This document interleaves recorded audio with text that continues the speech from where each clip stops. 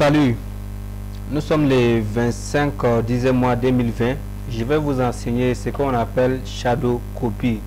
Shadow copy c'est quoi? Et puis c'est quand nous avons besoin de shadow copy. Shadow copy ça te donne la possibilité de faire retourner les fichiers qui sont déjà supprimés.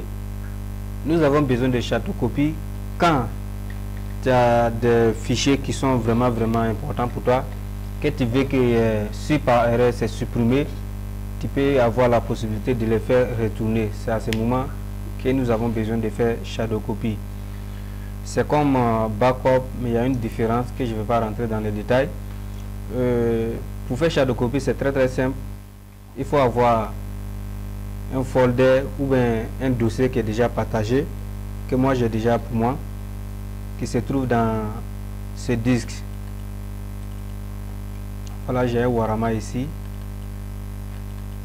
Ici, j'ai deux photos et puis un test qui sont vraiment, vraiment importants pour moi. Je veux que si un jour c'est supprimé, je n'ai qu'à avoir la possibilité de les faire retourner.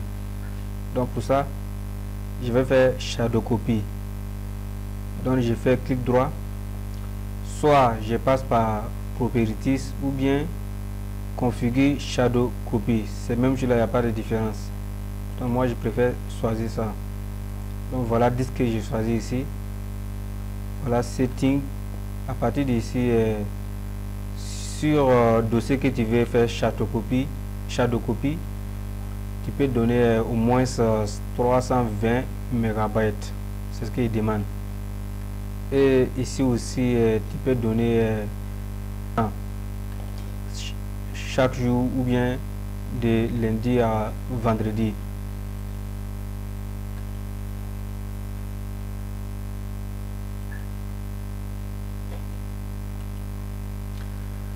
Donc euh, ici, euh, moi je vais faire shadow copy de suite là. Je vais je fais create now. Create now. Et puis enable pour activer. Et confirmer, donc je fais OK puis ok donc c'est fini shadow copy est fait sur euh, Warama donc je vais tenter de ou bien je vais effacer Warama pour voir si je vais avoir la possibilité de les faire retourner encore. Warama est supprimé. Je vais voir est-ce que c'est supprimé vraiment. Oui c'est supprimé ça n'existe plus. Warama n'existe plus alors que c'est vraiment important pour moi. Comment faire retourner ça?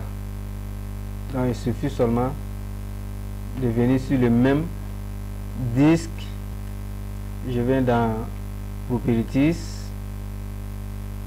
je viens dans Previews, version, puis je fais Restore. Je fais Restore encore.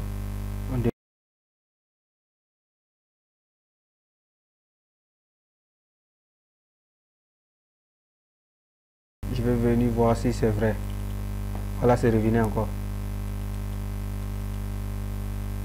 Donc voilà c'est ce qu'on appelle euh, shadow copy. C'est comme backup.